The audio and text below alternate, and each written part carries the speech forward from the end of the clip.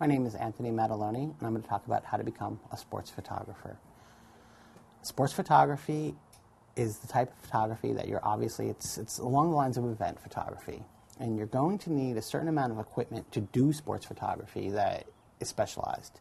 You're going to need a zoom lens, and you're going to need a lens which is a pretty fast lens, essentially a lens that you can capture action with. So you want something where your f-stop range is pretty good. Okay, that means your aperture is from maybe four upwards to 11. It's more of a technical thing with sports photography.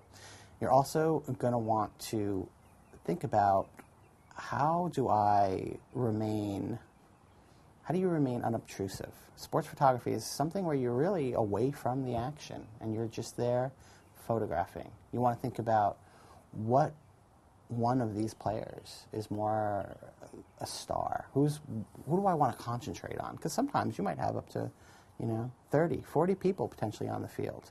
And that's something as being a sports photographer you really have to think about.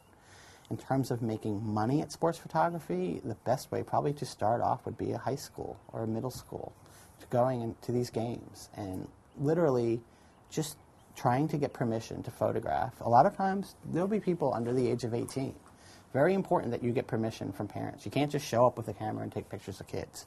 It's not a good idea. You want to talk to people, you want to promote yourself. And it can be pretty lucrative, actually. People love photographs of their kids playing sports.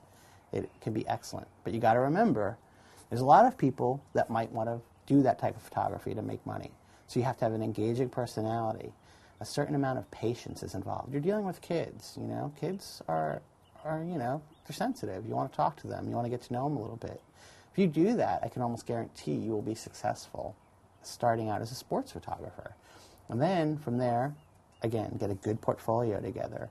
Bring your portfolio to certain people around town who run, you know, it could be from boxing to hockey, anything. And that's how I would become a sports photographer.